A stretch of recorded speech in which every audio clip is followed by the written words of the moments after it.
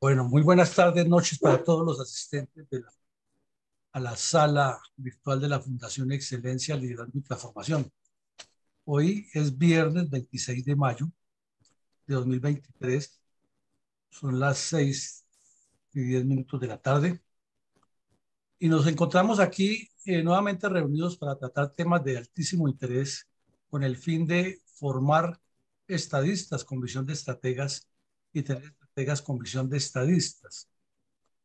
El tema que nos hemos propuesto para hoy es demasiado importante, es de la mayor importancia para los colombianos y es lo que realmente debería estarnos preocupando de todos los desaciertos y todas las alcaldadas que ha cometido el señor Petro, porque aquí está la esencia de lo que él quiere hacer eh, y de una manera muy habilidosa eh, lo hemos notado siempre utilizando la confrontación, conflicto, la pelea, el choque, eh, la discusión pública, la agresión, y de, y de esa forma ha ido eh, escondiendo o enmascarando su real intención para lograr imponernos a la brava las ideas socialistas y sobre todo la metodología de gobierno socialista.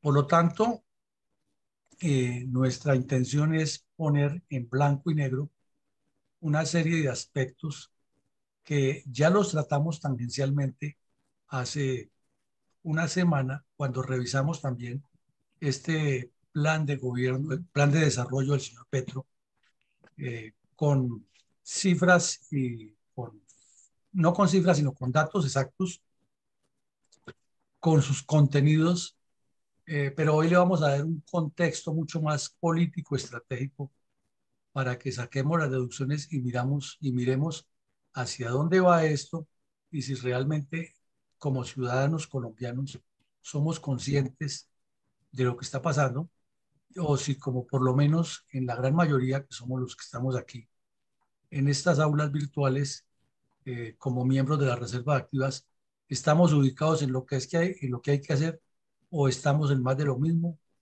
o estamos al garete con propuestas eh, 20 julieras y con oportunistas que nos quieren utilizar o si andamos cada uno por su lado como suele generalmente suceder. Entonces, eh, de esta manera les decimos que lo que se pretende es hacer un análisis eh, muy general, dejar unos puntos de reflexión sobre el tapete para pedirles a ustedes su participación y sus puntos de vista. Entonces, esta videoconferencia la queremos enfocar no en una charla magistral ni de que magister uditi, o sea, que el maestro dice no, no, no, sino poner sobre la mesa, sobre el tapete, sobre la discusión, algunos elementos para que reflexionemos todos los que estamos sentados en la mesa poniéndole cuidado al expositor. Importante, si quieren, tomen nota, van analizando. Les pedimos y concentración porque para poder hacer un buen, una buena intervención hay que haber puesto cuidado bien, no con el televisor prendido ni mirando el celular, un, un poco de cosas, sino que nos concentremos un momento porque esto es de la mayor importancia. Ese personaje que ustedes ven en la foto es un pensador muy importante que hubo al final de la Edad Media. Se llamó Don Erasmo de Rotterdam. Y se hizo famosísimo. Hay un micrófono abierto ahí que está molestando hace rato. No sé quién. Ya me ya. Eh, se hizo famoso eh, don Erasmo de Rotterdam, con un documento, un libro que escribió que llama El elogio de la locura. Y es una crítica satírica a todas las formas de gobierno de la época que sabemos que eran muy monacales, muy de monarcas, muy de la Iglesia Católica, muy, sobre todo en Europa, ¿no? Él era europeo y estaba estudiando Europa.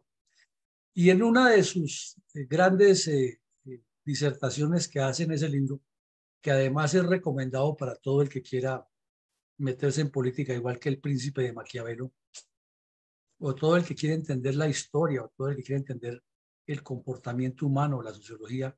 Es un libro valiosísimo, Elogio de la locura de Erasmo de Rotterdam. Él decía en alguna de sus partes que si hay algo que caracteriza al, al buen manipulador de la oratoria pública es que entre más enredado hable, más lo admiran, más lo aplauden y más lo siguen, no importa lo que dijo, porque aparenta tener una superioridad intelectual frente a los demás.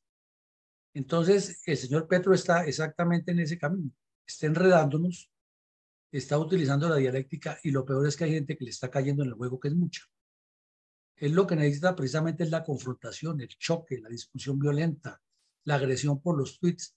Y con eso tiene siempre la disculpa que es que no lo dejan gobernar, pero que él está haciendo el proyecto y que es un proyecto popular. Entonces ya lo hemos venido insistiendo en estos últimos días en varios mensajes enviados a los colombianos, que no hay que dejarse llevar a la confrontación o a la lucha o al combate o a la batalla al terreno en el cual el adversario es eh, ducho, conocedor o más fuerte. Y él tiene todos esos, eh, esos espacios muy bien eh, estudiados y conocidos desde cuando inició su carrera política, porque él tiene mentalidad de bandido, sigue actuando como bandido y además es descarado y cínico. Hoy estaba diciendo que propone que Mancuso vaya a que investigue la Corte Internacional, la Corte Penal Internacional, porque los delitos que cometió son gravísimos. Y uno me pregunta, ¿y es que acaso los que cometieron el M-19 fueron jugando turras o jugando dados? No, tiene unos pecados iguales a los de Mancuso porque son bandidos, el uno de un lado y el otro del otro. Pero muy hábilmente él es la víctima y Mancuso es el victimario. Claro, él está detrás de Mancuso es porque busca enlodar al expresidente Uribe y a los que estaban de ese lado, de la derecha. Entonces vemos que ese, ese manejo dialéctico nos debe poner a reflexionar. Entonces no se nos olvide, señor Erasmo de Rotterdam le advirtió a la humanidad desde hace rato que los eh, gobernantes para tener los pueblos enredados utilizan una dialéctica y entre más confusa mejor para ellos porque el populacho, como lo llamaban en el tiempo lo siguen llamando, por lo general no es reflexivo. Ya Ortega y Gasset a comienzos del siglo XX lo definió de una forma más elegante. Las masas son amorfas, pero estos lo llamaron el populacho y sabían que a la gente, lo había dicho muchos años antes eh, Nerón, démosles pan y circo. La gente necesita ese, que le den diversión y que la manejen y no se preocupa mucho por sus por su futuro y estos tipos habilidosos manipuladores saben que esa es la debilidad y la utilizan. Ahora miremos, vamos a otro punto. ¿Qué es un programa de gobierno? ¿Qué contiene un programa de gobierno? Entonces, eh, partamos de que el programa de gobierno lo debe presentar un gobernante o un aspirante a los legislativos debe presentar ese programa de gobierno es antes de posesionarse y es en síntesis hablando como en un idioma más, eh, más cercano a nosotros, es como la propuesta que esa persona hace y sobre algunos tópicos. Y al ser una propuesta de gobierno, ahí puede utilizar más lo ideológico que lo que es métrico, lo que se puede medir, calificar, evaluar, eh, conceptual, etcétera. Entonces el programa de gobierno tiene algunas características, como decir, un contenido ideológico y es válido, ¿no? Una persona que es de derecha, de izquierda, de centro, de medio centro, como lo quieran eh, definir, que es de los verdes, de los ecologistas, como sea, le da un contenido ideológico fuerte a su, a su, a su programa de gobierno y es válido. O sea, puede decir en su campaña, si es de verde, de la línea ecológica, eh, nuestra propuesta de gobierno apunta a que la mayor parte de los recursos que se estaban invirtiendo, vamos a decir, en mantenimiento de vías, ahora lo vamos a ubicar es en el mantenimiento de los ríos y cañadas para que los seres humanos vivan y bla, bla, bla, porque la salud es un programa de gobierno, es ideológico, está hablando, está proponiendo ideas, está proponiendo planes o, mejor acciones muy generales. Hasta el momento no ha concretado nada, pero se sabe que esa es su intención digamos que un plan de gobierno es como una intención. En segunda medida, hace unos enfoques conceptuales en los cuales se pretende canalizar exactamente 5, 6, 7, 10, no sé cuántos aspectos tenga en su programa. Pero todo sigue siendo como una especie de teoría. Luego, quiere decir eso que si vamos a la famosa ciencia humana, las ciencias sociales, es un deber ser. Él está planteando lo que debería ser desde su óptica, desde su grupo, desde su conjunto. Ese es su programa de gobierno. Entonces, nos queda claro que es como un contexto ideológico, es un contexto de propuestas. Bueno, ahora pasemos a otro aspecto. Hablemos ahora sí del plan de gobierno.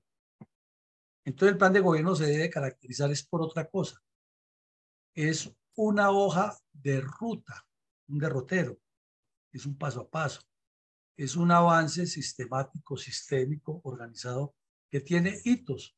O sea, esos hitos son fases, son etapas, son tareas cumplidas o no cumplidas, eh, son eh, objetivos, son metas, porque tiene, el plan de gobierno ya tiene que apuntar no a la filosofía de lo que nos gustaría, de cómo, lo, de, cómo nos gustaría, sino qué se hace en cada etapa para que eso eh, se cumpla en, en el programa. O sea, que el programa es general, lo que debería ser, lo que se nos ocurre, pero el plan de gobierno es lo que vamos a hacer, cómo lo vamos a hacer, cuándo lo vamos a hacer, dónde lo vamos a hacer, para qué lo vamos a hacer, y a veces más concreto, y sobre todo en una cosa muy importante, cuantificado. Porque eh, puede escribirle todo lo que quiera, sí, pero cuantifíquelo. ¿Cuánto dinero le va a colocar a cada proyecto? Y, y, si es un plan de gobierno mucho más serio, debe decir de dónde provienen esos recursos.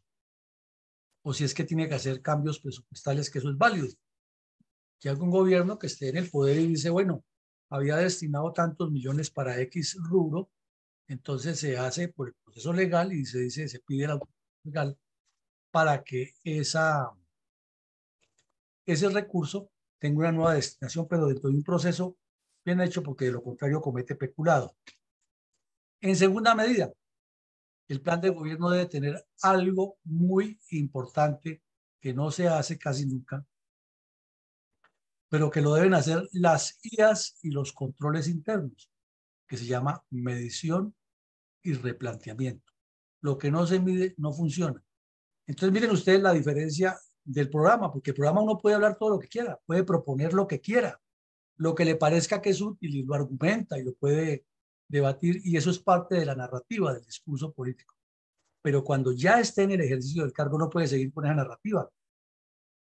Tiene que entrar a decir, bueno, los objetivos son estos y en la primera etapa, o sea, para el 2024 debemos tener esto, para el 2025 esto, y el día que yo entrego el poder, se llegó aquí que me juzgue la historia y me juzguen las autoridades y el Congreso de la República, los que me tienen que juzgar si lo cumplí o no lo cumplí, y el pueblo colombiano.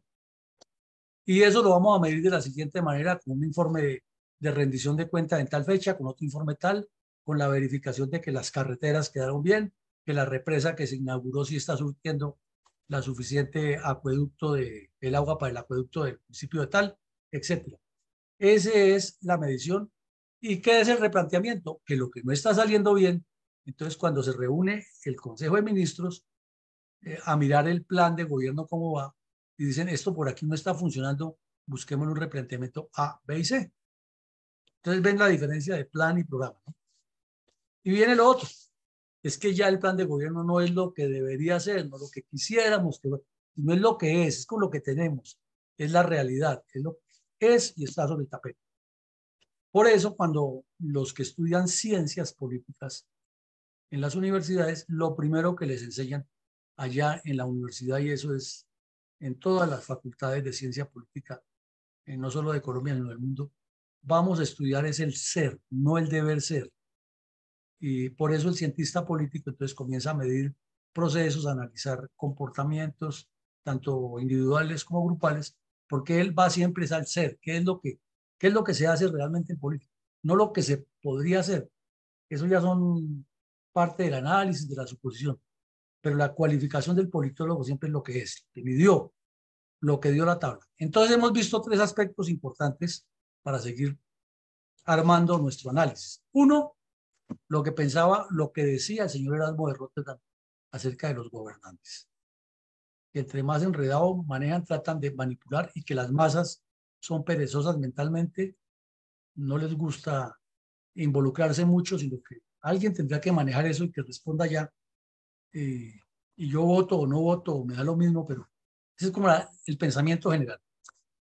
Luego vimos el programa de gobierno que es el deber ser, o sea, lo que, lo que se quisiera, es como una propuesta, es una filosofía.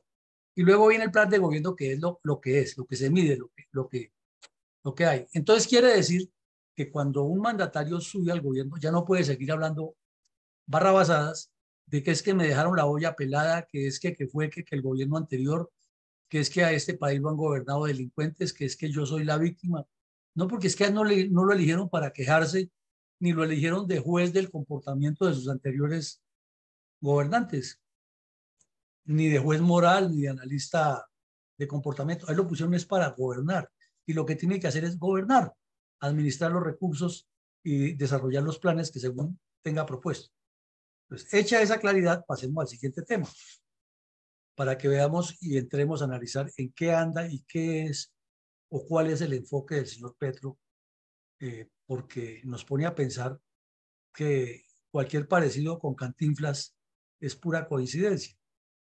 Eh, ese discurso que digo en Stanford, que solamente lo entiende él, y quizás la ministra de Minas, que es tan inteligente, nadie más le entendió lo que dijo.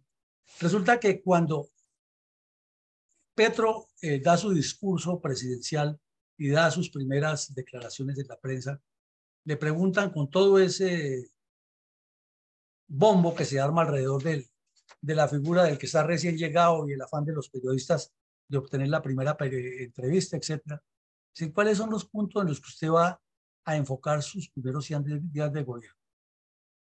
Entonces, como dicen los soldados, vamos a la parte seria. Si un gobierno tiene un plan de gobierno que se supone y un programa de gobierno, lo que dice inmediatamente es lo que va a hacer su gobierno, ¿no? No, no los 100 días.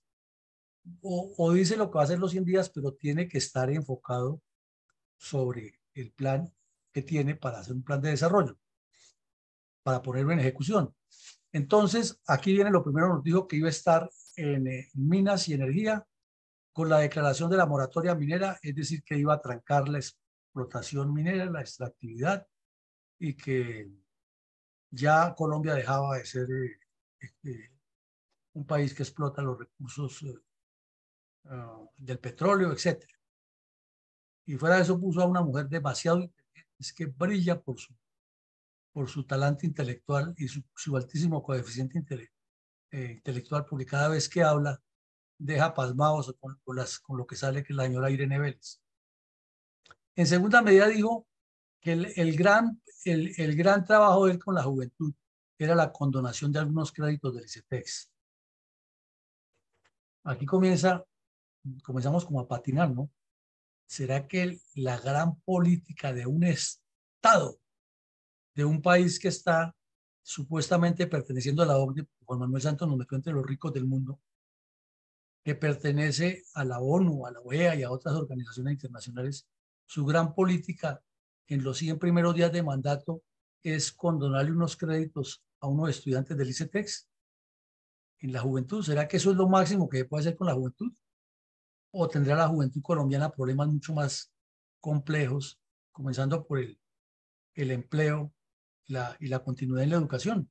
Es que la juventud es que meterla a estudiar y a que progrese y a que aprenda a trabajar y a que desarrolle empresa. Entonces lo vemos como muy populista las dos, ¿no? que Colombia ya no, no extrae energías no renovables y que la juventud le va a condonar los créditos. Se pensaría que el tema de juventud va completamente atado con la educación, ¿no? Y dice aquí que es la revisión de la ampliación de la base presupuestal de las instituciones de educación superior y ahí ya comienza ese lenguaje enredado. ¿Cuál ampliación de la base presupuestal? Son cuentos baratos. La base, no hay base presupuestal. ¿Cuál es la base presupuestal? Cualquiera se enreda ahí. La base presupuestal es de donde sacan los impuestos o es el, el presupuesto puesto sobre la mesa o qué es. Si lo que quiso decir era que era una revisión del presupuesto actual que tienen las universidades para mejorarlo, es otra cosa. Pero ¿será que necesitan 100 días para revisar eso? Si se supone que ya hizo una campaña y que viene proponiendo los que es el transformador. es de pensar cómo se manipula la gente, pero en conclusión, nada medible y nada verificable. Luego dice que avance los diálogos con el ELN y anunció que en tres meses el ELN ya estaba, ya va a completar un año eh, de, en el gobierno y va a completar eh, siete meses, seis meses, hablando con los bandidos del ELN y no despegan de lo mismo. No es nada diferente a las negociaciones que tuvo eh, Samper, que tuvo Pastrana, que tuvo, que inició Uribe y no, no le cuadró, que tuvo Santos con el ELN, nada diferente. Ahí pegados, estancados en la aguja, y cuando nos fueron a tratar de encerrar, encasillar, en que, bueno, ustedes están cometiendo actos terroristas, cese al fuego y cese de hostilidades, entonces sacaron la tarjeta roja. No, lo que pasa es que no podemos ser tan estrictos porque era que fue que, que por allí. Y hoy vieron lo que pasó, ustedes vieron lo que pasó hoy. Es que sí, nosotros asesinamos a dos, eh, a dos policías en Timú, pero es que lo reconocemos. Entonces sale el, el, el, juglar del circo, el señor Rueda, y dice, el comisionado de paz, si no, no, pues muy válido, es que están reconociendo, eso ya es un avance, imagínense. Entonces, pues, todo este tipo de, de, altibajos y de, y de, poca claridad, vamos a, a, ver por qué es que lo queremos comparar. Lo, hemos, lo mismo dice que establecimiento de una comisión internacional contra la impunidad. Óiganlo bien, Comisión Internacional contra la Impunidad. O sea que en Colombia no somos capaces de organizarnos nosotros mismos y tenemos que traer a terceros de otros países que son iguales de corruptos o peores a que nos revisen. O sea, eso es como poner a Garavito a que, a que, a que cuide a los niños de, de un jardín infantil, cuando la solución es establecer mecanismos para combatir la corrupción. Pero bueno, dejémoslo ahí. O sea, ya son cinco puntos. Y el seis, el agro, declaración de los derechos del campesinado, así como la política nacional de insumos agropecuarios. Anoche veíamos en esta sala todo lo que tiene la OEA ya establecido y de lo cual somos firmantes. Entonces, o es ignorancia del señor Petro que hay unos pactos internacionales, que hay unos acuerdos, que hay unas eh, organizaciones a las cuales pertenece Colombia, o quiere hacer lo que a él le da la bendita gana ¿Y los derechos del campesinado cuáles son? Expropiar tierras o darle tierra a cada campesino. O como nos planteó aquí un especialista que vino en el tema y nos dijo, y le damos tierra a todos los campesinos y no les damos los recursos, los medios, ni la formación, y entonces lo que hacemos es tirarnos la producción de lo que ya venía, porque cada campesino va a querer hacer lo que mejor le parezca o va a revender la tierra, etcétera, etcétera. Entonces, ¿qué queremos decir con esto? Que el Señor supuestamente trae un plan de gobierno, ¿cierto? Trae un plan que lo eh, démosle un beneficio, que tiene, que necesita 100 días para refinarlo y ya ponerlo sobre la mesa, porque las leyes así son enredadas en Colombia. Hasta ahí, bueno, perfecto. Pero si ya tiene ese plan, nos habla de estos puntos, ahora llevémonos la siguiente sorpresa. Dentro de esos 100 días en que quería eh, refinar el plan de gobierno, pone en un show en el cual cayó hasta mucha gente de la reserva. Eh, se dejaron alebrestar y se dejaron, como decían los campesinos, albiruchar. Y fueron allá a sus puntos. Y mire ya lo que comenzó a hablar, ordenamiento territorial. Me imagino que ustedes tomaron nota y vieron en qué punto anterior de lo que él plantea hay ordenamiento territorial. Entonces, si él le dice al país, eh, mi línea de acción es estos seis puntos que acabamos de ver, y cuando se supone que va a escuchar lo que piensa la gente sobre esos seis puntos, comienza a hablarles de ordenamiento territorial. Imagínense ustedes a una persona, y no estamos descalificando a nadie, un obrero, un obrero, que lo invitan a una, a una, a una reunión de estas y va porque le llama la atención, porque Petro es populista, porque le acabo de prometer que la educación, que no sé qué más cosas, y lo sientan a que opine sobre el ordenamiento territorial. ¿Mm? ¿Mm? Si nosotros mismos, los que medianamente sabemos leer y escribir, no conocemos ni siquiera la ley de ordenamiento territorial que existe y las divisiones que hay. Eso tiene un montón de, de, clasificaciones, además muy técnicas. Entonces, ¿qué vemos ahí? Populismo Y lo que dijo el asme de Rotterdam, entre más enredado les hable, más rápido los, más los, los manipula. Segundo, seguridad humana y justicia social. Vamos a lo semántico, no a lo, no a lo, no a lo, no a lo, a lo jurídico. Como le dijo Salud Hernández el día que salió con el cuento de la salud, de la seguridad humana. Le digo, ¿y es que el resto de la seguridad es canina o qué? ¿O es de robótica o cómo es la cosa? No, la seguridad es una actividad humana que utiliza otros medios, es otra cosa. Pero él lo que quiere decir aquí es que las Fuerzas Armadas, las Fuerzas Militares y de Policía se enfoquen al servicio del gobierno del campo. Ahí está el veneno. Porque le agrega otro pedacito, la justicia social. No es que lo social no necesita justicia, lo que necesita es acción. Que la justicia es para los jueces, es para las cosas penales, para las cosas administrativas y disciplinarias. Pero nos dejamos enredar y vuelvo y les pregunto. Imagínense ustedes a la señora, la presidenta de la, de la, del grupo de madres de, de familia del barrio X de Bosa y la llevan a un, a un taller de esos a que opine y vote ideas para, para mejorar seis puntos que supuestamente es su línea de fe, su eje guía, y la a hablar de esto. Pues lo que está haciendo es enmarañando a la gente diciéndole que usted está participando y ya vamos para dónde va el hombre. Derecho humano a la alimentación. Y es que hay derecho animal a la alimentación. ¿O es que hay derecho de las cosas a la alimentación? Además, la alimentación es una obligación del Estado. No es un derecho solamente de la gente. Es que el Estado tiene que propender por la seguridad alimentaria y la soberanía alimentaria. Eso es función del Estado y debe ser una política uno a. Pero aquí le da la vuelta, es el derecho, o sea, ustedes tienen derecho, aquí llegó el Papá Noel que les va a dar esto y los pone a especular a personas que no tienen ninguna preparación en temas de procesos de, no de, no, de preparación de alimentos, sino del suministro, de la logística, de, cómo un Estado debe planear, el, debe de supervisar que haya carreteras, que haya centros de que se respete el manejo de la, de la, de la oferta y la demanda, etc pues nos parece que por ahí lo que está escañando. El otro, dice que economía productiva para la vida y la lucha contra el cambio climático. Entonces miren estas palabras, economía productiva. A ver, señores y señoras, sin ser tan satíricos ni tan críticos, ¿es que hay alguna economía que sea improductiva?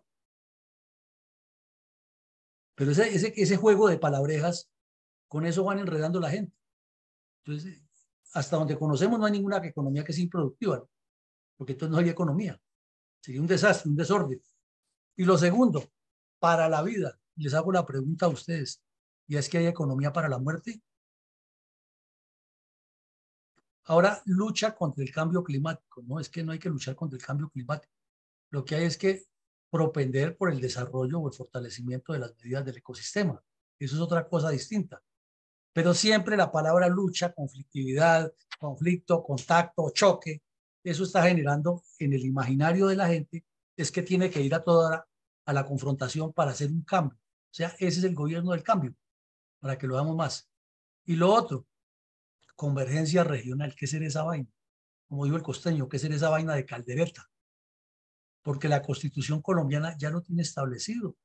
Ya habla de las asociaciones regionales o municipales. Es decir, pongamos un ejemplo. Municipios de Chía, Cajicá y otros de los de la Sabana están cerquita.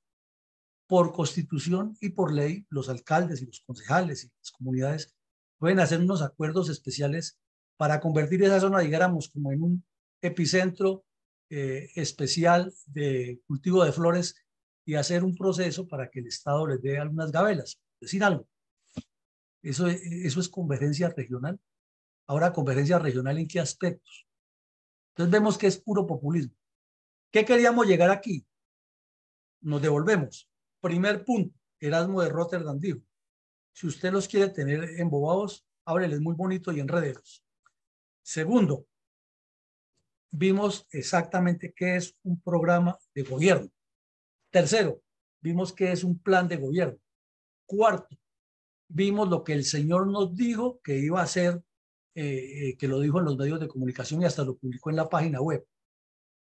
Entonces se supone que si él dijo lo que iba a hacer es sobre eso que va a trabajar. Le dimos un beneficio de la duda que no es correcto. Así es la ley en Colombia. Porque si el señor se sube al poder, él ya llega con un plan de gobierno que no es un plan de desarrollo, que no es que lo va a armar, sino que lo trae listo y lo socializa con las regiones y con los partidos que perdieron la elección con él. Eso es lo que dice la ley y es lo que es lógico, porque se supone que esos partidos o se le van a unir como gobierno o le van a hacer la oposición y saben sobre qué le va a hacer la oposición. Pero todos sabemos que la oposición se convierte es personal. El uno ataca y el otro defiende. Y al señor lo que le conviene exactamente es eso. Entonces se inventa una figura eh, que es válida en democracia, pero que tiene manipulación, que es que por todo el país socializar sus ideas para escuchar puntos y recogerlos. No nos engañemos.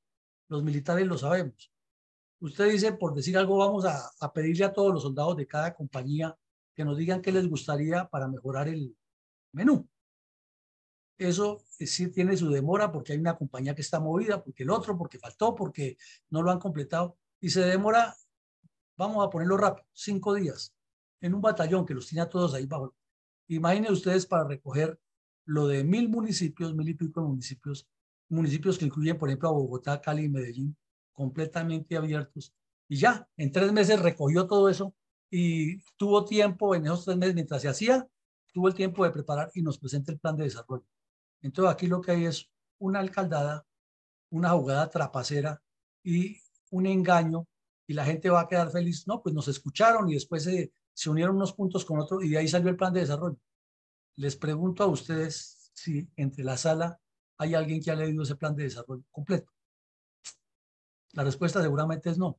Ahora pregunte, preguntémonos si la señora que es modista en el barrio X por allá de la comuna número 13 de Medellín, que participó en esos consejos comunitarios porque le daban sándwich y de pronto una camiseta, alguna cosa de esas, mm, se va a sentar a leer el plan de desarrollo para ver si lo que ella dijo lo incluyeron. ¿No? Entonces es un engaño, es calculado y es politiquería. Mientras tanto, hay que armar la confrontación por lo que sea y decirle a la gente, mire, ustedes me dijeron, y es que todo lo que ustedes me dijeron lo estamos metiendo y lo que trae el gobierno del cambio y el pueblo y la solución. Entonces hay que salir a protestar. Y por eso es que el tipo planeó el primero de mayo su balconazo, que no le salió muy bien, pero él sigue pensando en eso. Y ya lo ha dicho varias veces y lo dijo hasta en Estados Unidos y en España. Es que si no funciona, tiene que salir la gente a la calle. Entonces miren ustedes el engaño, la manipulación, el mecanismo. Bueno, pasemos ahora.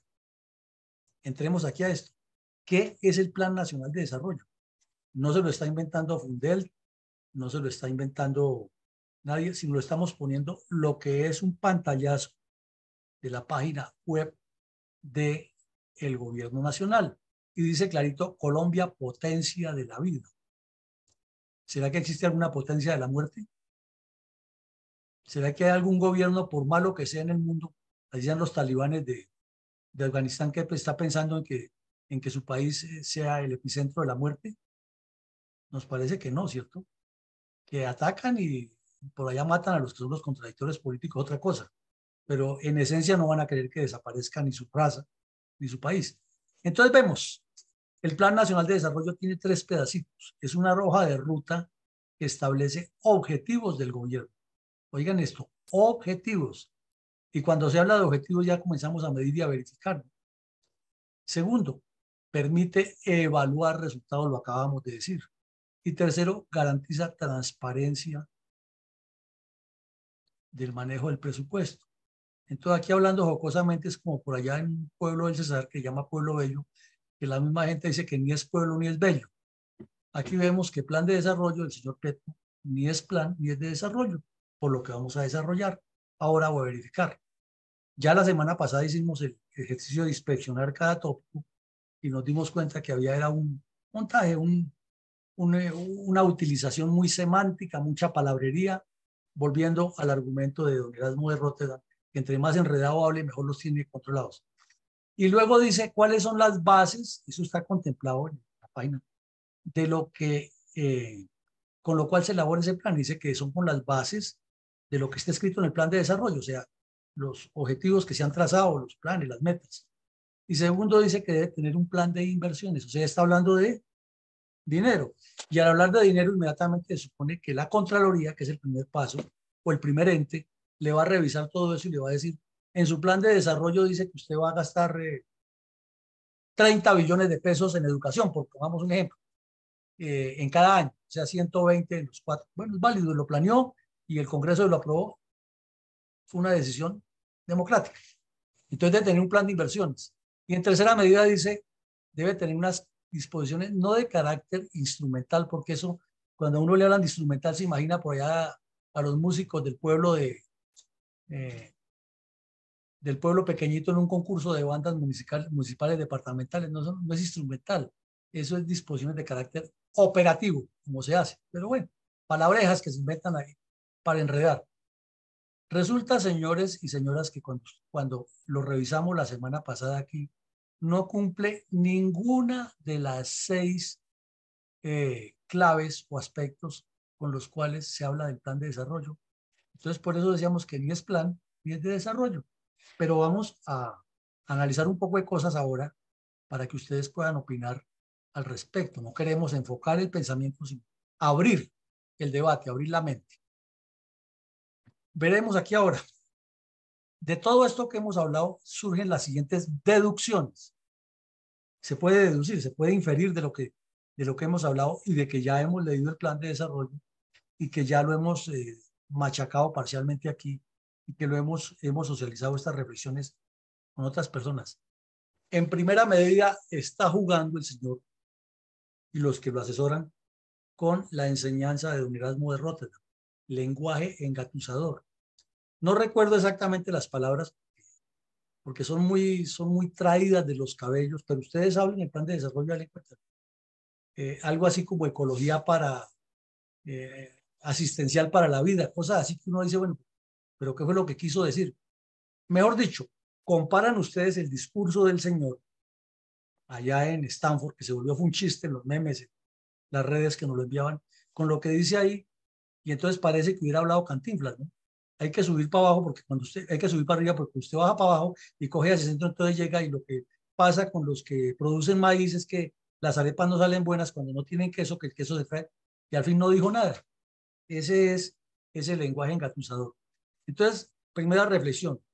Si vimos que tiene seis contenidos fundamentales, un plan, y los vimos cuáles son los seis, un plan de desarrollo, y ya su lenguaje, su redacción es engatuzadora, pues nos damos cuenta que lo que hay es una intención perversa de ideologizar un plan, que los planes, él puede ideologizar todo lo que quiere en un programa, pero en un plan tiene que ser concreto se va a hacer esto, vale tanta plata, y ese es un plan. En las fuerzas militares, los que fueron militares o policías que están aquí, saben que eso es clarito. Plan de inversión para la partida de arreglo de las instalaciones del alojamiento de tropas. Y dice, para los techos tantos, para ta, ta, ta, tanto, las puertas tanto, el contrato tanto, retención en la fuente tanto, sumas iguales. Eso es un plan. Eso es un plan concreto. Pero si se pone a hablar, no, que es que el alojamiento de los soldados demanda que los soldados tengan una cama muy cómoda, una cama muy cómoda para dormir, que la ventana, que el ventilador, que la luz, que los baños, que las duchas, eso es programa. El plan es concretico, le va a colocar tantas duchas, tienen 20 duchas, funcionan todas, en una batería de baños de los soldados se cepillan los dientes, otra donde eh, se colocan los traperos, etcétera, etcétera. Pero todo está en un plan concreto. Entonces el lenguaje engatuzador ya causa una mala espina. En segunda medida, tiene una carga ideológica que no la debe tener. Repetimos, el programa usted le puede colocar la ideología y es válido, porque es que en el programa es lo que, todo lo que quiere decir, pero en, la, pero en, el, en el plan ya no. El plan no tiene que tener nada de adjetivos, ni de calificativos, ni de presunciones, ni de... No, el plan es lo que se va a hacer, cómo se va a hacer y cómo se va a medir porque quien viene a verificarle, que es la Contraloría, no se va a poner a buscar ni redacción, ni palabras bonitas, ni intenciones, sino ejecución. Un plan es de ejecución presupuestal. Entonces, esa carga ideológica, ¿para qué, por qué y con qué objetivo? De pensarlo, ¿no? Cuando vimos aquí los ítems de ese plan de desarrollo, hay un aumento desmesurado de burocracia. Eso se inventa un poco de agencias y de grupos. Y uno dice, oiga, pero si el Estado colombiano ya está sobrecargado de ineptos burócratas, ¿para qué meterle más?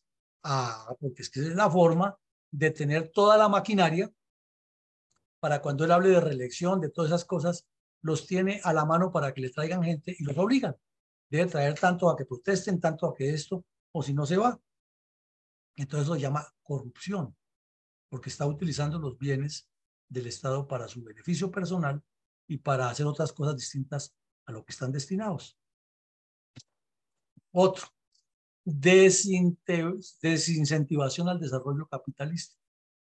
Si ustedes leen ese plan de desarrollo, primero no lo cuantifica, ya no cuantificarlo ya deja de ser plan, pero démosle un beneficio en la duda. Es un plan de desarrollo. En todo momento habla de colocar impuestos, de grabar, de quitar por aquí, de que somos la potencia mundial de la vida, que la ecología, que el medio ambiente, que, que hay que no volver a extraer de minas, que eh, la seguridad tiene que ser humana, ¿quién sabe qué ser esa vaina? Que tiene que ser dedicada a que las fuerzas militares estén con las comunidades, que hay que minimizar la presencia de tropas, en, un poco de cosas que uno ve es una intención de generar conflicto a toda hora, de generar el espacio para el conflicto, para que el día que se le vaya a caer eso, toda la gente se rebote contra la institucionalidad y ojalá que esté muy maniatada. Y además no habla en ningún momento de decir, por ejemplo, si es un desarrollo, como él dice, productivo para la vida, entonces dice, bueno, vamos a enfocar el desarrollo en lo tecnológico en tales aspectos. Por poner un ejemplo, si un gobernante en este momento tuviera la visión, dice, Colombia tiene una gran potencialidad con los jóvenes que son muy pilosos y vamos a crear que Colombia sea el epicentro de toda Latinoamérica en la gestación de programadores de computadores en los siguientes campos, criogenia, en la cibernética, en, en, el, eh, en el estudio de la energía nuclear, etcétera, es un plan, es un plan correcto porque está, puede que no sea lo más adecuado para Colombia, pero está dando unos enfoques, unas particularidades y está incentivando a que la empresa invierta, a que el empresario invierta porque ve que el gobierno va a estimular esos campos. Pero si está diciendo todo lo contrario, que vamos a cerrar empresas, que lo que hay es que aumentar los impuestos porque los ricos, porque es que el pobre ha sufrido bla, bla, bla, bla, pues está es desincentivando el desarrollo y eso está escrito en ese plan. El plan no tiene nada. Hay una tendencia abrumadora a estatizar todo. O sea, mientras el mundo avanza con las dinámicas de globalización y que los seres humanos nos podemos mover con tantos acuerdos que hay, tanto a mover nuestros propios recursos y que hay organismos como la OEA, por ejemplo, que dicen que hay, la, la, función del gobierno es incentivar la ciencia, la tecnología y el desarrollo agroindustrial. Eso está escrito en la OEA desde 1948 y nosotros firmamos ahí. Es más, esa carta se hizo aquí en Bogotá, se hizo no, se aprobó aquí en Bogotá en 1948. Y entonces, si esa carta es antiestatizante, ¿por qué este señor está promoviendo violar una carta internacional de las cuales somos suscriptores. Ah, porque es que la OEA, como lo veíamos anoche, está llena de corrupción, politiquería y anden las mismas. Bueno, hay un evidente aferramiento del poder porque aunque no lo dice, lo induce. Y ese es parte del manipulador, de, de la persona que tiene ese, esa habilidad de mover el, los hilos. ¿En qué consiste la, el, la propuesta que él está haciendo al, al aferramiento? Está hablando siempre de que es que esto es un cambio, es el gobierno del cambio, que hay unas viejas estructuras, como decía Jacob Arenas, el viejo modo de vivir en Colombia, y hay que cambiarlo y que para eso se necesita un proceso en el tiempo. O sea, como diría Oriana Falachi, ergo, yo tengo que ser el que sigue porque no hay otro. No ha nacido en, el, en Colombia nadie capaz de hacer los cambios que yo, Gustavo Petro, los tengo para hacerlos. No lo dice pero lo induce, lo está llevando a que sea la conclusión. Entonces, esto es lo grave de ese plan de desarrollo. Lo otro, habla o da la sensación, como ya lo hemos venido analizando aquí y explicando, es que hay que crear una estrategia de conflictividad. O sea, hay una lucha de clases. Esa es la base del comunismo. Y eso no se puede cambiar sino de una sola manera. El día que la clase proletaria, la clase de abajo, destruya la clase de arriba y todo quede igual y haya un Gustavo Petro haya subido como Stalin, como Lenin, como Mao Zedong, eh, como Ho Chi Minh, que es el rey, es el, el intocable, es más, tiene poderes suprahumanos y es el que salvó a Colombia, como dicen de Kim Il-sung, de Kim Il-sung en, en Corea. Hacia allá apunta esto. Entonces, señores, porque vamos a entrar a un punto muy importante aquí. Vamos a colocar siete aspectos sobre los cuales son ustedes, los que no voy a hablar, sino son ustedes. Escogen uno y ya lo explicamos. ¿Estamos en lo que estamos los colombianos o nos están metiendo la goleada y ni siquiera hemos sumado y el árbitro sí está sumando los goles que nos han metido? ¿Estamos por el camino correcto simplemente con salir a protestar a la calle y decir que somos la salvación de Colombia? ¿Estamos en el camino correcto creyendo que los que nos llevaron a este problema y fueron los culpables de que el señor Petro ahora aparezcan trasladándonos a los electores la responsabilidad de lo que ellos no hicieron y es que hay que sacar a Petro porque es la peor porquería, porque bla, bla, bla, y solamente están pensando, y en eso soy categórico, en que se vaya Petro no para arreglar el problema del país, sino para volver a recuperar el poder, porque es que nombrar embajadores, nombrar cónsules, nombrar gente en el departamento administrativo, crear agencias, como quiere Petro, pero también lo hacen los otros, manejar el presupuesto, manejar nóminas, eh, tener contacto con las Fuerzas Armadas, eh, tener la posibilidad de asistir a viajes internacionales. ¿Por qué no nos engañemos? Critican a esta señora que está usando, además que ni merece el cargo que tiene, la señora Francia Márquez. Pero es que los demás han hecho lo mismo. O Santos no llevó dos aviones cargados con como con 500 eh, lagartos a Washington, dice a, a, cumplir los, a celebrar los 15 años del, del Plan Colombia y lo que nos daban por el Plan Colombia en un año era menos de lo que costaba el viaje de toda esa parranda de sinvergüenzas.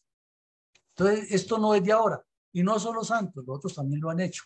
Y también han utilizado los helicópteros y también...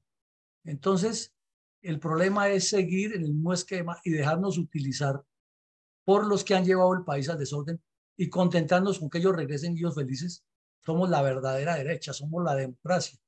Y uno me pregunta, ¿democracia cuando en esos gobiernos se les han muerto los niños de hambre en La Guajira como se le están muriendo a este? Entonces no hay plan de desarrollo. Entonces lo que tenemos que pensar es en una cosa distinta, darnos la pela y meternos.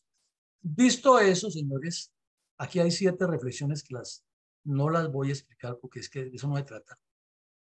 Es lo que hace el señor Petro es un plan de desarrollo o es un programa de gobierno ideologizado, para reflexionar. Segundo, ¿es un cambio petrista lo que él está proponiendo o es descaradamente una revolución marxista en la cual nos están viendo la cara redonda? Tercera reflexión, ¿hay una respuesta política adecuada de parte del país y de la oposición? Porque ustedes han visto desde el mismísimo expresidente Uribe hasta eh, el último politiquero buscando allá reunirse con Petro y que no le digan nada a los hijos y bla, bla, bla, y que el señor Petro y que es la salvación y que eso estamos en el cambio y hasta le apoyan. Ese plan se lo apoyaron y le han apoyado un poco de reformas raras. Entonces la pregunta, la duda, ¿no? ¿La respuesta ha sido adecuada? Otra. Y esa sí nos toca directamente a muchos de los que estamos en la sala está enfocada la reserva de las Fuerzas Armadas en lo que es o seguimos en el mismo cuento de la reunión de los líderes y de que de ahí salen los candidatos y ya, ya, el país se va a arreglar porque aparecieron los candidatos de la reserva, ya tienen todos o estamos estructurados y enfocados en lo que hay que hacer. Pregunta, pregunta suelta que no ocurre. Ahora, en la guerra, como en los negocios, como en la diplomacia, todo, se juega siempre en el deporte. ¿Quién tiene la iniciativa estratégica? O sea, ¿quién es el que hace que el adversario juegue al ritmo que él quiere? Entonces, en este momento, ¿quién tiene la iniciativa estratégica? El señor Petro, que cada vez que se ve un problema, muy habilidosamente nos arma un, un escándalo, que es que Zapateiro le va a dar golpe de Estado. Y con eso toda la prensa y la atención nacional y los memes y las redes, y que Zapateiro dijo, que no dijo, que no sé qué, y que hay que apoyar a Zapateiro. No, que Marulanda por allá fue y dijo que que había que defenestrarlo. Mejor papayazo no le podía dar. Pero, pero ¿quién sale a poner el cascabel al gato es que con ese plan de desarrollo nos está metiendo en un esquema marxista eh, muy grave aún. Entonces, está, ¿quién tiene la iniciativa estratégica? ¿El que está llevando a que nos dediquemos a pelear la guerra que él quiere? ¿O somos nosotros los que lo estamos llevando a pelear la guerra que nosotros queremos? Cuando me refiero a nosotros, hablo del país que está siendo afectado. Otro, ¿está funcionando la institucionalidad? O sea, están funcionando las cortes, están funcionando las IAS, está funcionando el Congreso, está funcionando la presidencia dentro de sus funciones, los ministerios, las Fuerzas Armadas, están funcionando. Porque muchos ven facilito, es que el ejército lo que tiene que salir el general Ospina es y poner en su puesto a Petro. Supongamos que sale Ospina lo pone en su puesto y lo releva. ¿Y qué pasó? Nada. O sea, la solución no es esa. Hay que pensar en una cosa mucho más de Estado, de estrategia. Y lo otro, la séptima. ¿Le está funcionando o no le está funcionando el estratagema de conflictividad al señor Petro?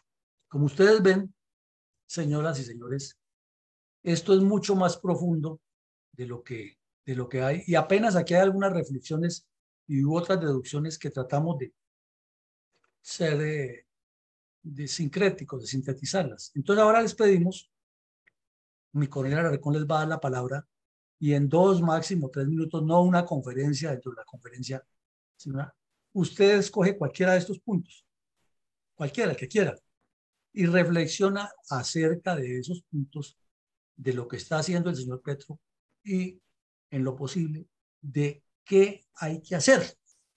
O sea, no tanto aquí volver a decir que salió y que dijo, porque todo lo hemos visto por televisión y ya por las redes estamos saturados. Y que la señora Francia Márquez se llevó, que en España, que no.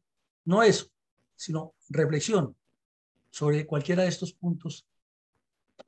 ¿Cómo lo ven ustedes frente al plan de desarrollo? Que en lo personal nos parece que no es plan de desarrollo, pero de pronto alguien tiene un argumento que nos puede ilustrar. ¿Y qué se le ocurre que hay que hacer? Entonces, mi coronel Alarcón, no les quito más tiempo. Creo que hablé mucho antes. A ver si nos ayuda con que las personas reflexionen sobre esto y escuchamos los puntos de vista. Bueno, mi coronel, muchas gracias.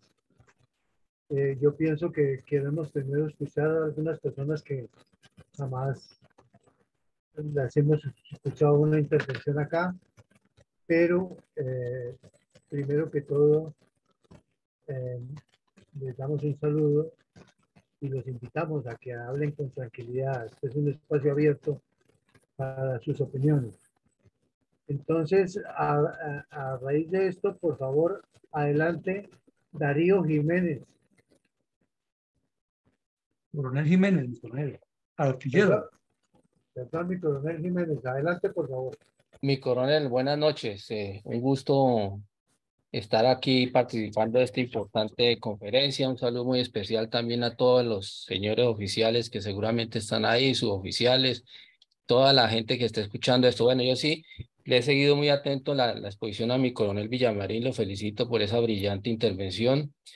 El día de ayer pues no tuve la oportunidad de escucharlo en, por el grupo Santa Bárbara, pero Afortunadamente, mi general Rueda me dio la, información de que iba a repetir esta importante charla. Sí, yo sí veo que, definitivamente el plan de gobierno, entre comillas, que tiene este señor Petro no es ningún plan, es simplemente es un proceso de, de ideologización y de pauperización del pueblo.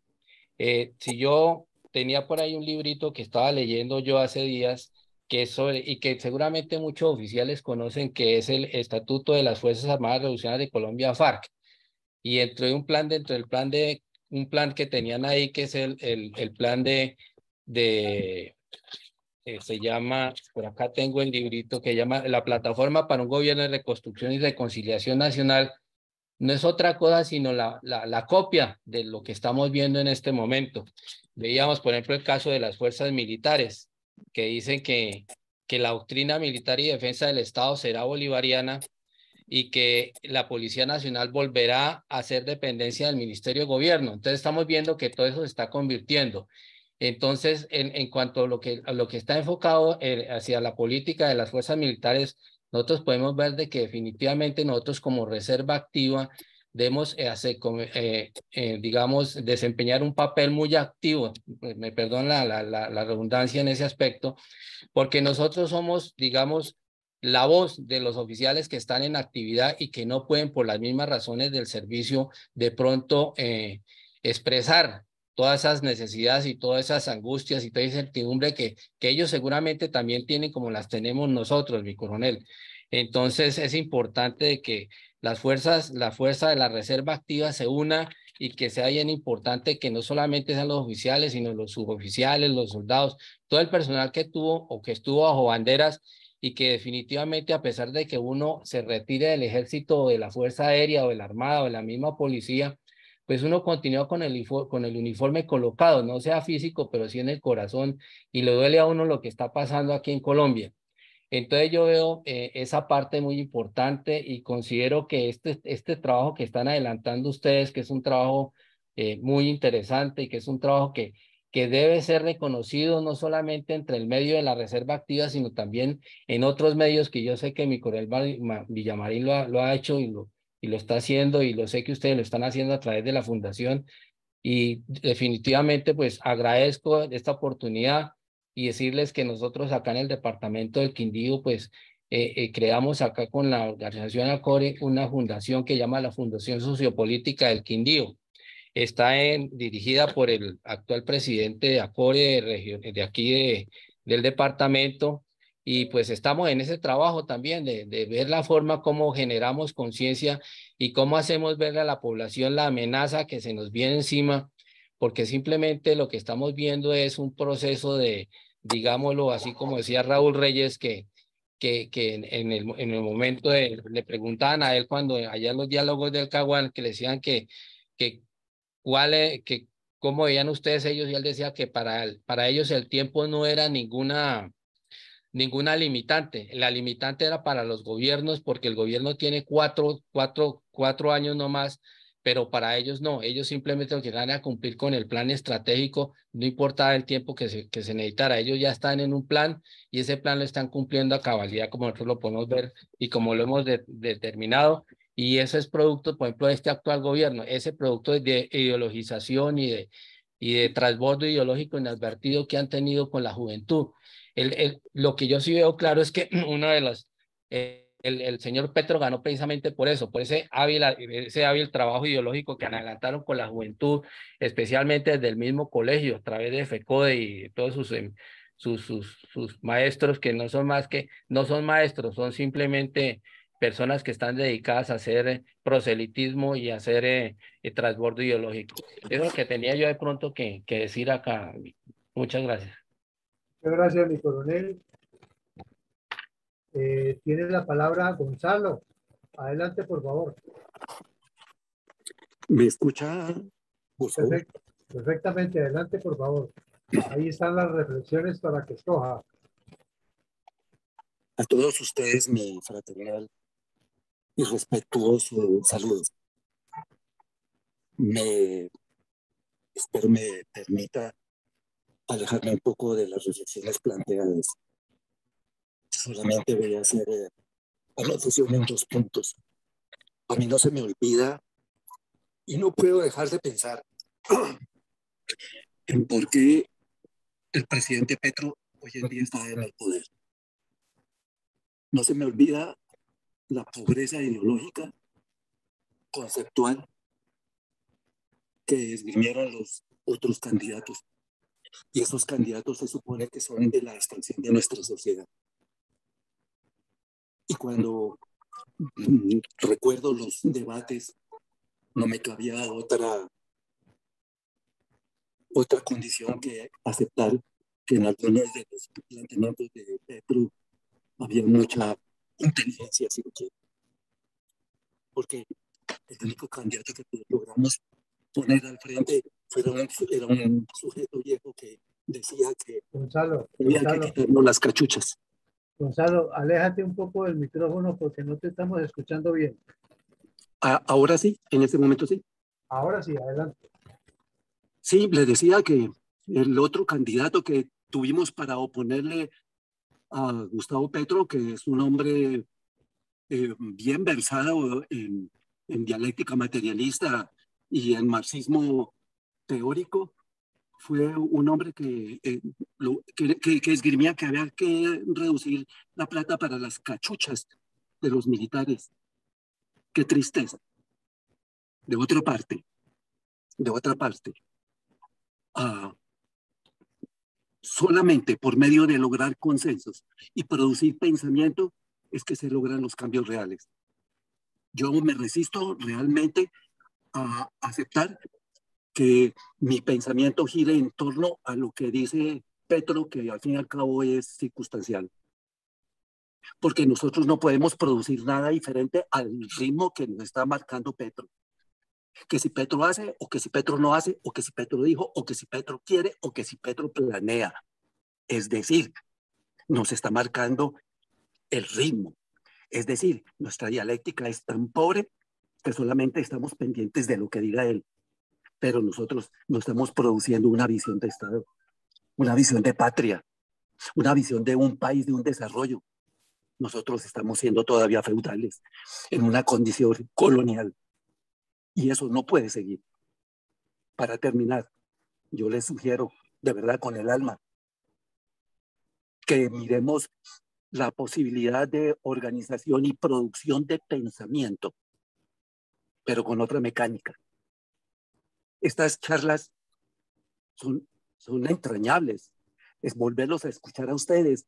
Compartir con ustedes no tiene calificación, pero de producción es muy poca. Y es muy poca por la mecánica, no por ustedes, ni por nosotros, ni por todos nosotros los que estamos acá, sino porque las cosas de, política, las cosas de sentimiento, las cosas de profundidad se hablan personalmente. Debemos buscar mm, eh, sitios, espacios de debate, no de exposiciones. Porque las exposiciones hay montones y se mete uno a Google o a YouTube, las tiene magistrales de todo lo que pueda querer. Pero solamente, solamente estando entre nosotros, juntándonos entre nosotros, lograremos eh, eh, la producción de pensamiento y de pronto, y de pronto líderes naturales que son lo que necesitamos. Muchas gracias. a todos ustedes, muchas gracias, de verdad, y les deseo lo mejor de la tiene, vida. Tiene la palabra William Mantilla. Adelante, por favor. Pero mi les pediríamos que nos enfoquemos en las reflexiones porque si no, no hacemos el ejercicio académico. Hay siete reflexiones ahí puestas lo que queremos es escuchar los puntos de vista de las reflexiones. Entonces, terminamos hablando como de un programa de gobierno, no de planes. Sí. Correcto, mi coronel. Campo Elías Ortiz, adelante. Tienes tus siete reflexiones para que escojas y hables sobre las que estime conveniente. Gracias, mi coronel. Buenas noches, buenas noches a la sala. Bueno, va a tomar el, cuarto punto mm, que habla que se está enfoca la reserva de las Fuerzas Armadas. Yo pienso que la reserva desafortunadamente no está enfocada porque no tiene liderazgo ni direccionamiento. No tiene un norte claro y definido, ni tampoco tiene objetivos eh, suficientemente claros. La Reserva de las Fuerzas Armadas lo que demostró recientemente es que es una fuerza importante que tiene un potencial significativo y que puede marcar la diferencia en un momento dado.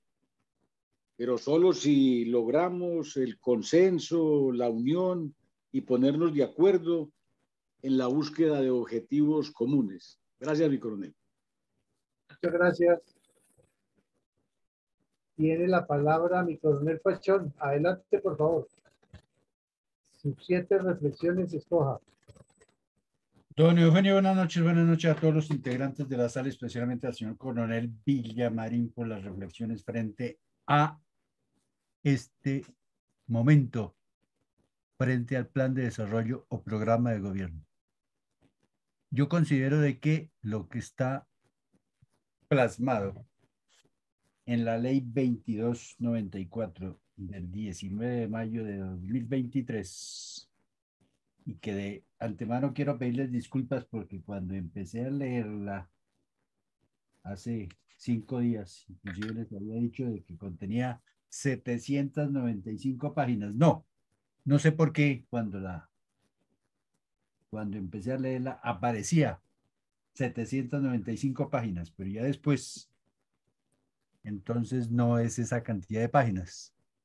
Pero bueno, lo único que hay ahí es el programa de gobierno y pues prácticamente va a darle cumplimiento a las exigencias que hizo uh, las FARC frente a Santos en el Tratado de Paz, en el, la negociación de paz y desarrollados de alguna manera por el cura de Rux. Entonces están haciendo mucho énfasis en esa parte. Por consiguiente, lo considero que es un programa de gobierno y un plan de desarrollo, porque es que es poco lo que se ve frente a lo que es realmente el desarrollo. No ve uno ahí que se esté programando, por decir algo, la ampliación o el mantenimiento de tales asuntos. Y hace mucho énfasis en los trabajos de la economía, economía familiar y economía popular, que son tratados por el cura de Rux. Entonces, por eso me inclino de que es un programa de gobierno. Lo otro es que extrañamente, cuando se habla de la situación de, de la tenencia de la tierra, hace mucho énfasis especialmente para los indígenas y de vez en cuando en algunos artículos o parágrafos hace referencia al campesino, pero es muy limitado. Realmente el mayor énfasis es para los mm, afrodescendientes, indígenas, eh, bueno, todos los, los adjetivos que le han dado a las personas que pues normalmente simplemente tienen la tierra pero no la ponen a producir. Entonces, por eso considero de que es más un programa de gobierno porque lo que pretende es quedar bien con los que toda la vida han luchado aparentemente para mejorar eh, el bienestar de la sociedad. Que realmente los que se han favorecido en ese aspecto son muy pocos. Entonces, pues ahí hay una serie de disposiciones, de reformas de diversas leyes para cumplir lo que estableció el convenio Far Santos. Ese es mm, mi concepto por ahora. Gracias. Muchas gracias, mi coronel Pachón. Tiene la palabra mi doctor José Ricardo Martínez.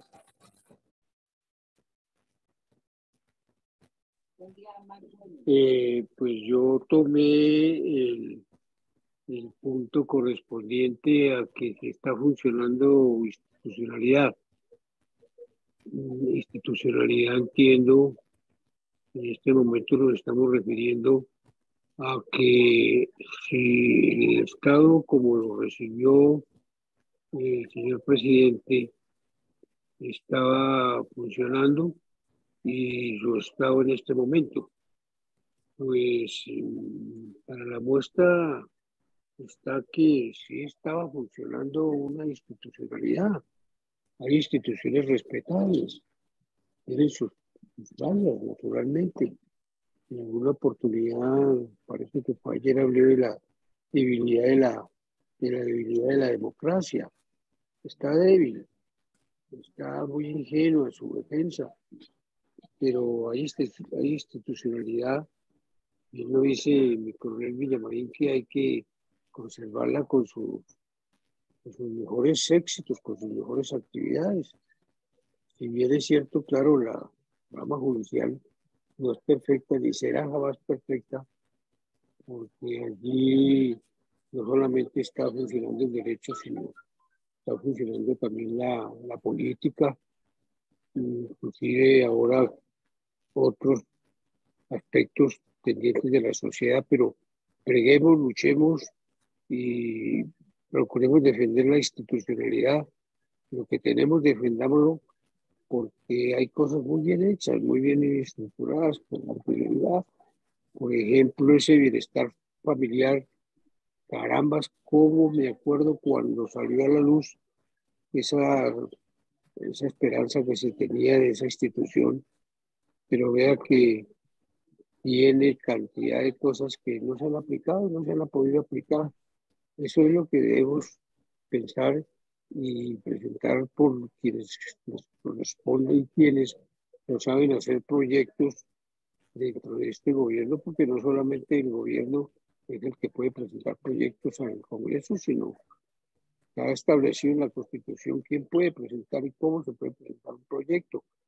Atacándolo por ese lado, si la palabra de llamar atacada, que es simplemente procurando que se gobierne en ese sentido, seguir respetando y haciendo respetar las instituciones existentes. Muchas gracias.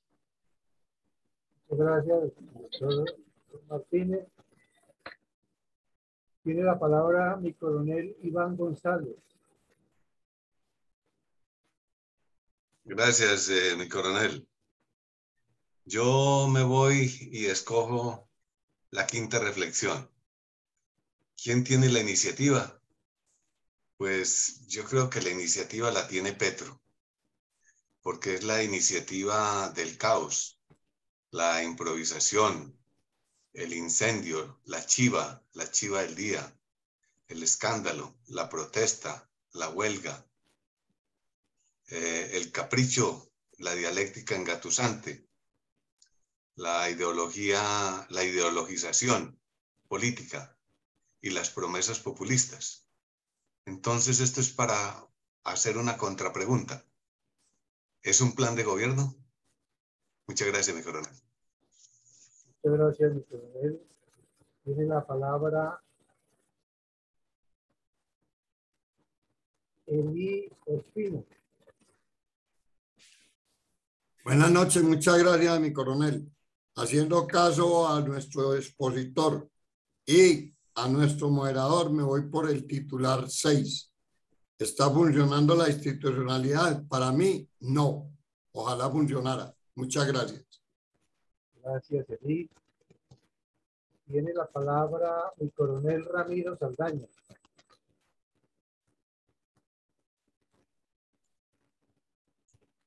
Buenas noches, mi coronel. Buenas noches a la sala.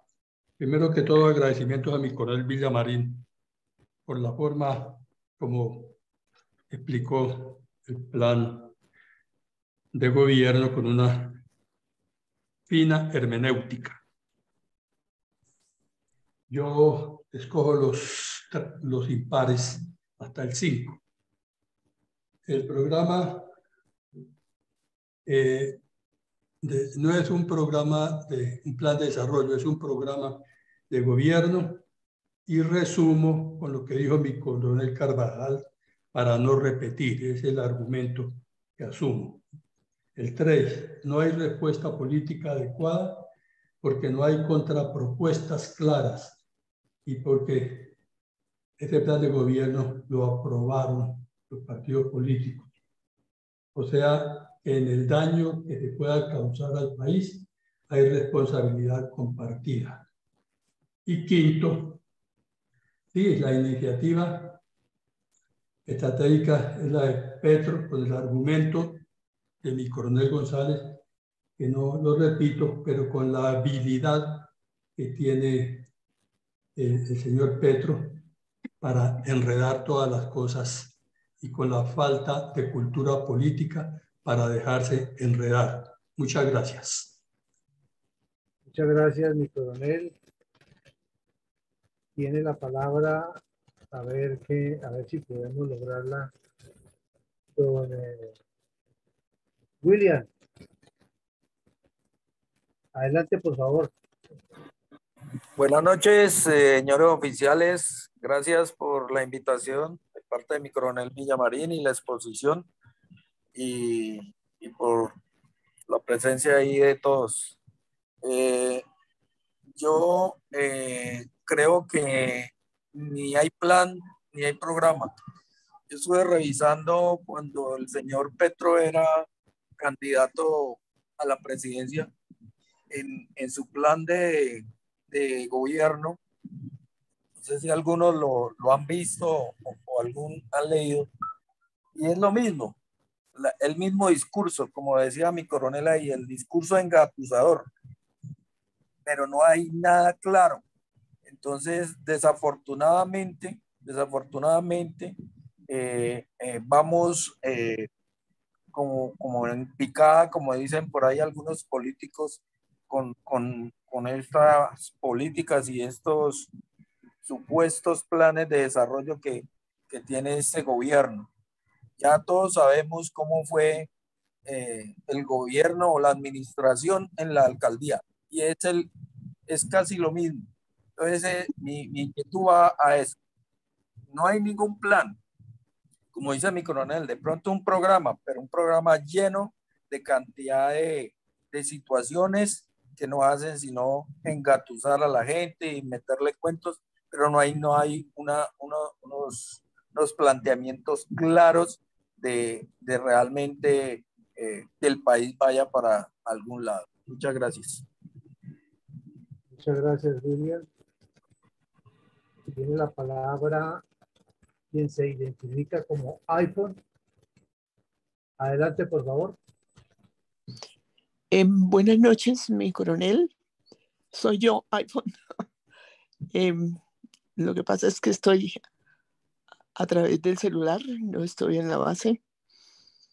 Y realmente eh, esto que se está leyendo desde la semana pasada y analizando como plan de desarrollo propuesto y aprobado desafortunadamente ya por el Congreso, ni es plan de desarrollo, ni es plan de gobierno, en mi concepto es una estratagema de conflictividad, porque ya sabemos que el, el tal eh, plan, el proceso de paz del 2016 está metido en la Constitución dentro de un artículo transitorio, sí, pero es lo que tiene en este momento como recomendación principalísima eh, Francisco de Rux para el desarrollo del el plan, el teórico plan de Petro.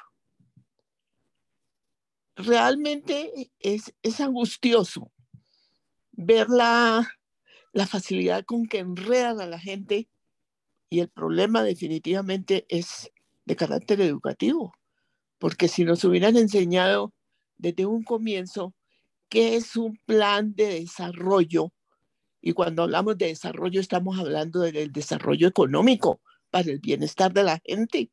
No podemos empezar a, a echar discursos de, de, ninguna naturaleza distintos a la priorización de necesidades en todas las áreas eh, que tenga que contemplarse la, la, la administración de un país. Y fuera de eso, fuera de priorizarlas, manejarlas en términos económicos que se puedan medir en tiempos específicos y que se puedan eh, evaluar constantemente hasta decir si se cumplió o no se cumplió desde el punto de vista eh, numérico, de cifras. Yo no entiendo por qué es tan difícil ver que ese bla bla que acaban de sacar como plan de desarrollo es otro documento igual al de la tal Comisión de la Verdad y al tal proceso de paz de, de La Habana. Hay que exigirle que pongan eso los técnicos en cifras, a ver si les es posible cuantificar lo que se han aprobado en el Congreso como plan de desarrollo. Lo que no tenga cifras y tiempos precisos para su ejecución no se puede llamar ni plan de desarrollo ni plan de gobierno. Así es de que no sé cómo vamos a exigir eso, pero tenemos que exigirlo. Adelante, por favor, William Mantilla. Es el, el que nos falta. Bueno, entonces me voy a permitir leer las eh, eh, inquietudes que nos ha dejado en el Face. Eli Ospina dice lo siguiente. Con todo respeto, tengo dos preguntas. Una, programa de gobierno antes de ser elegido, ¿es obligatorio el cumplimiento? ¿Qué se puede hacer en caso de que no se cumpla? Y segunda, ¿quién es el ente o quiénes nombran los integrantes de la Comisión Internacional contra la Impunidad? Gracias. Pues mi coronel Villamarín, hemos eh, escuchado todas las intervenciones. No sé si ya eh, William Mantilla tiene disponible su... Pero William ya habló.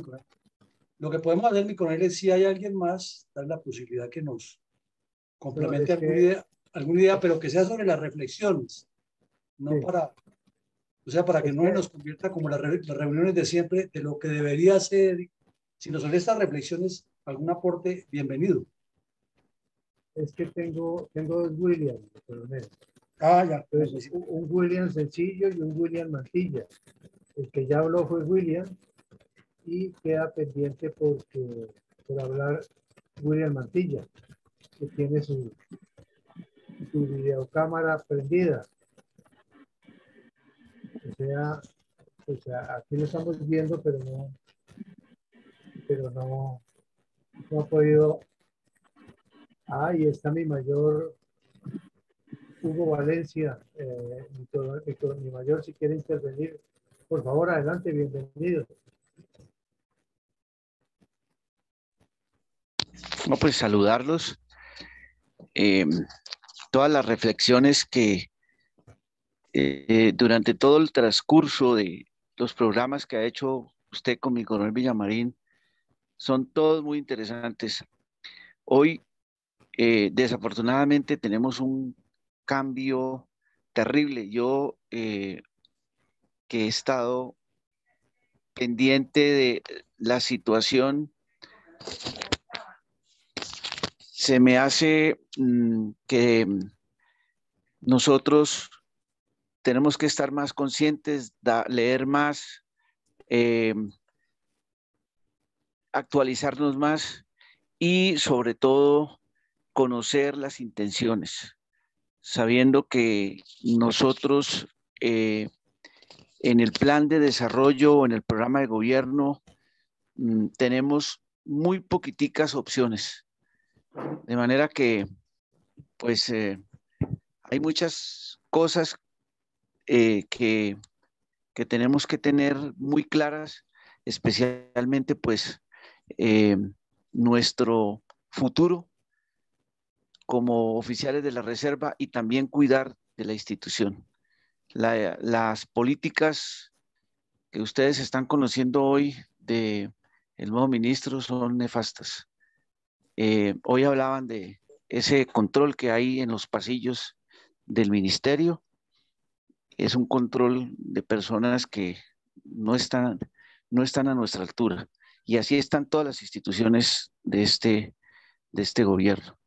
Un abrazo, mi coronel. Muchas gracias, mi mayor. Eh, William Mantilla se ha manifestado a través del Face, a través del Zoom, y dice lo siguiente, saludo respetuoso, ¿qué hacer? Empecemos en casa, que nuestros hijos, familiares y amigos cercanos sepan realmente qué está pasando y que es importante la participación en la democracia y en forma efectiva en las próximas elecciones.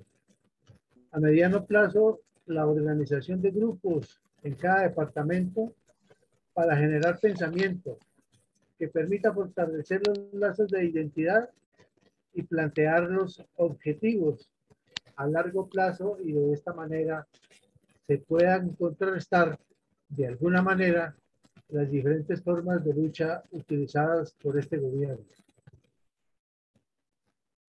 Yo creo, mi coronel, que ahora sí, no sé si alguien tenga algo por agregar. Con mucho gusto, los micrófonos están abiertos y que sea relacionado con eh, esta situación de las reflexiones, de la escogencia de reflexiones para poder saber sobre ello. Muchas gracias a William Mantilla por su reflexión. Eh, bueno, parece que, que no tenemos eh, más intervenciones. Entonces, mi coronel Villamarín va a tomarle la palabra para sus conclusiones, la respuesta a las preguntas que han dejado y la bendición por el día de hoy. Adelante, por favor, mi coronel.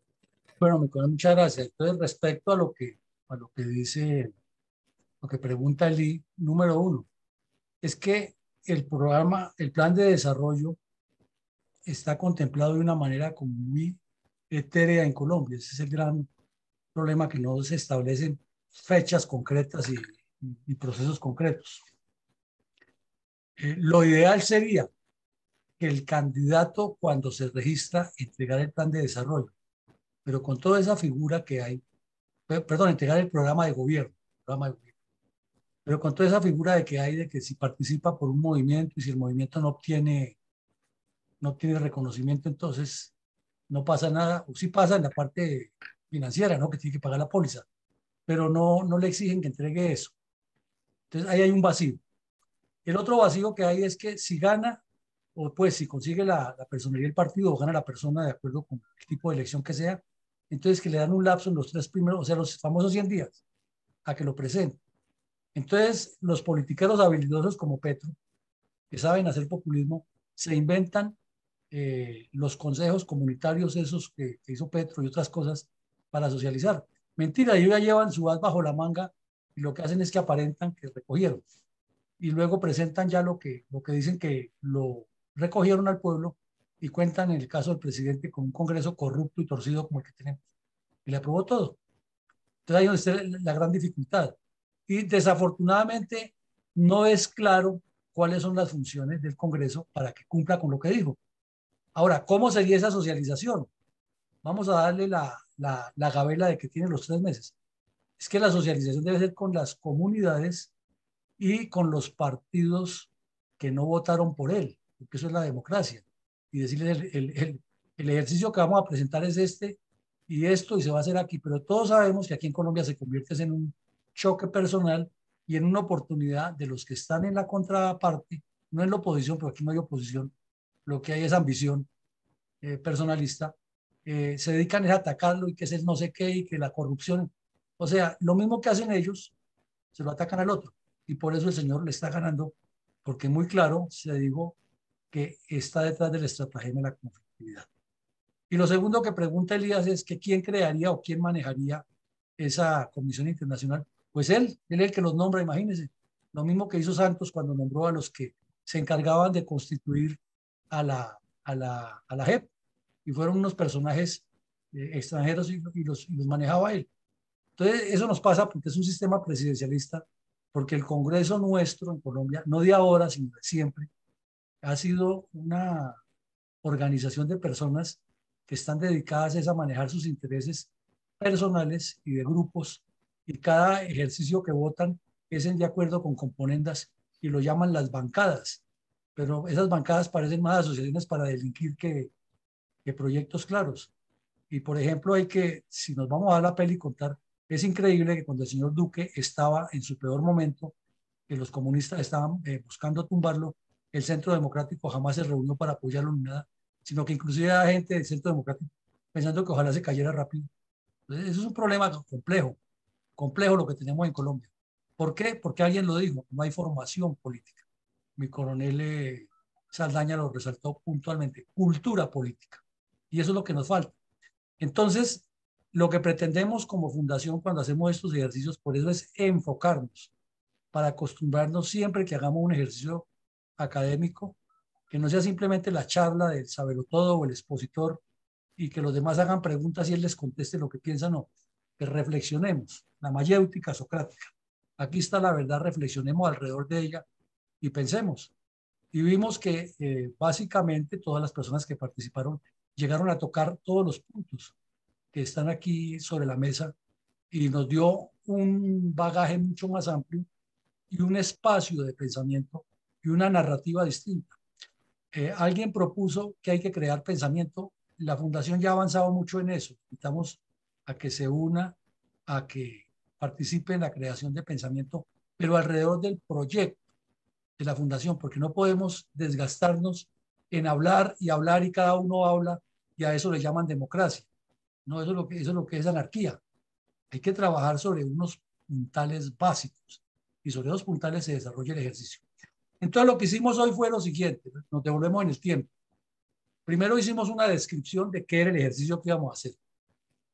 Luego presentamos la metodología que nos analizó Erasmo de Rotterdam que utilizaban los populistas y le dimos bastante vuelta a eso para puntualizar cómo se hace. Después vimos qué es en esencia un programa de gobierno y qué es un plan de desarrollo. Y nos quedó claro que la diferencia es que el programa de gobierno es un deber ser, algo un poco general, eh, idealista, eh, con proyecciones a lo que pudiera ser. Y que el programa, el plan de desarrollo, el plan de gobierno es puntual. Y ojalá, ojalá, en lo posible, y así debe ser, con cifras, con, eh, con fechas, con eh, etapas, con procedimientos. Y que debe tener unas verificaciones y que eso hay que fortalecer las verificaciones. Pero no existe en Colombia. Porque antes de la constitución del 91 existía una Contraloría que ya era demasiado eh, controladora y lo que hacía auspiciar era la corrupción. Entonces hacía que el contralor para poner una firma había que, pasarle el billete por debajo del, del, ejercicio. Entonces se pensó que a partir de la constitución del 91 se hiciera un control previo selectivo y un posterior selectivo y que las instituciones por dentro se revisaran con el control interno. Pero el control interno se convirtió como un espacio más de donde poner a los más mediocres y no pensando que quien ejerce el control interno debe ser más docto en la materia que quien la hace, por una razón muy sencilla, porque es el que lo va a revisar. Pero una persona que no sabe ni siquiera qué es la construcción de un presupuesto, ¿qué le va a revisar a un programa o a un plan? ¿Qué le va a revisar a la ejecución de un plan si no tiene la idea? Entonces, eso es, es de cultura política, es de formación política. Y la responsabilidad de esa cultura política es de los partidos. Por eso aquí desde la Fundación decimos, hay que crear un partido político que represente a la reserva. Pero antes de hablar de lo que somos tan especialistas en la reserva de candidatos, hablemos de formarnos. Y que al final, al final, entre todos escogemos a los que nos representan porque son los que mejor han demostrado la capacidad. Pero aquí queremos hacer al contrario, entrar de una vez de candidatos a que los demás lo sigan. ¿Y cuál es su programa? Ah, no, entonces criticamos a Petro, que es un chambón, que es un, tramposo, que hace lo que le da la gana, y estamos actuando de la misma manera. Criticamos a los políticos corruptos porque roban el dinero, porque no cumplen con sus funciones. Y tener gente que quiere participar en política igual no es lo mismo, porque va a llegar a ser exactamente lo mismo. O sea, va a ser parte del sistema. En síntesis, para cambiar la política hay que romper con ese sistema. Después vimos, después vimos, eh, hecho eso, una cotejación de las posiciones ambivalentes que ha tenido este caballero. Sube a la presidencia y nos dice, mi, mi eje fundamental va a ser estos seis trabajos. Y al otro día comienza a trabajar con las comunidades con cinco puntos distintos. Y luego nos presenta un plan que no tiene, como dicen los muchachos de ahora, nada que ver con lo que nos dijo en los seis y los cinco. Y lo que hace es que lo puntualizaron algunos de ustedes, colocarnos sobre la mesa los 12 puntos que planteaba la coordinadora guerrillera en 1992 el informe del señor Berrux, que como él mismo dijo, lo cumpliría rajatabla, y el pacto ese de Far Santos en La Habana. Eso es lo que está escrito ahí.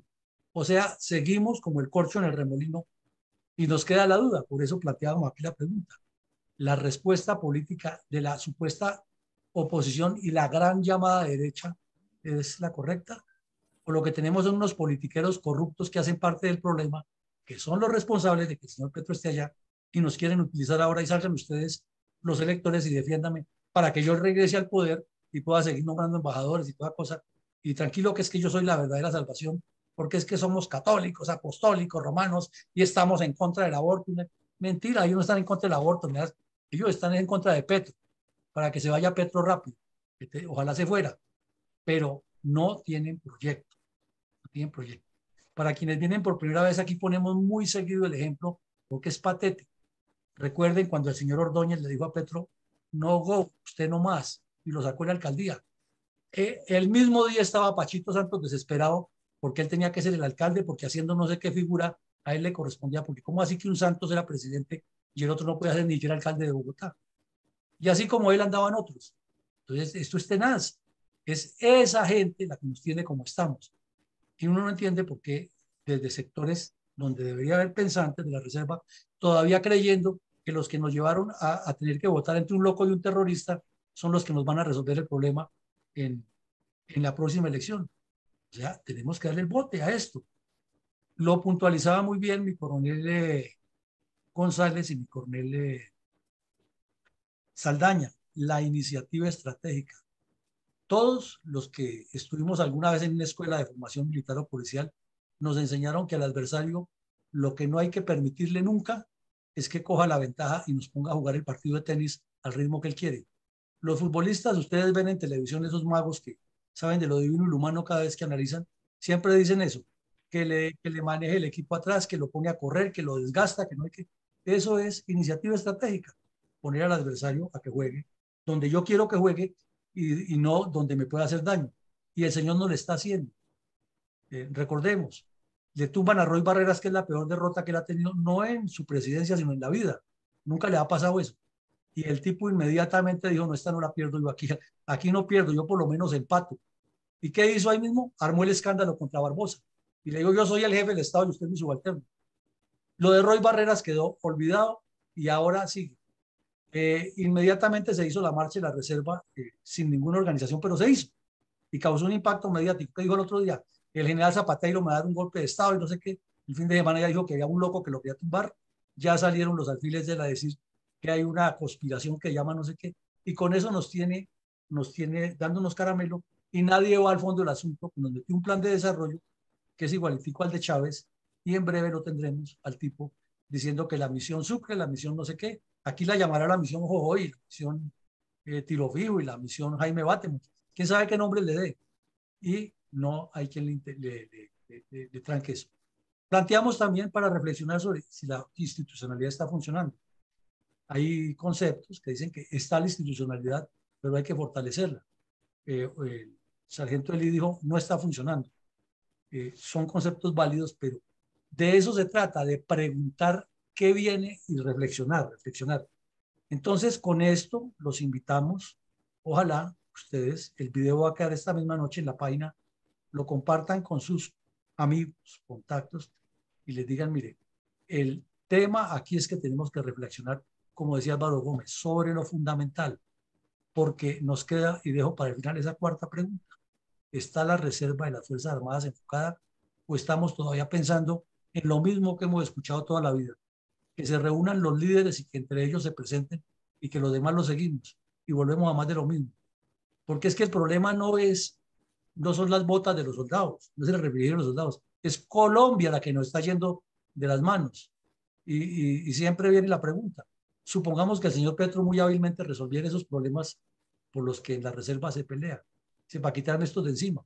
Y los tiene, los coopta, lo lleva para su lado y el país desarmado. Entonces pensemos en lo que nos dicen nuestros hermanos, lo que nos dice el sobrino, lo que nos dice la tía, lo que nos dice el señor de la tienda de la esquina, que es los que están viviendo el drama, y hay que pensar en Colombia, no en un sector específico. Que resolviendo el problema de Colombia podemos resolver el sector específico. Eso es así de sencillo y esa es la política. Pues no les quitamos más tiempo. Sabemos que es fin de semana, que han hecho un esfuerzo valioso. Los invitamos a que sigan viniendo a la fundación, que inviten más personas, personas, eh, mujeres, jóvenes, porque esto es para multiplicarlo. Que visiten nuestra página web, que es muy nutrida, tiene mucha información de muchos aspectos de formación política y con eso podemos difundir pensamiento y ganar tiempo, porque el tiempo está jugando en contra de nosotros y el señor Petro lo sabe. Y si no nos preparamos para una constituyente, en breve la convoca y haremos el show y el chorreo más que más eh, nos hace daño. Pues que mi Dios nos bendiga. Muchísimas gracias a todos. Y ya eh, creo que Lee quiere decir algo al final. Adelante, Lee.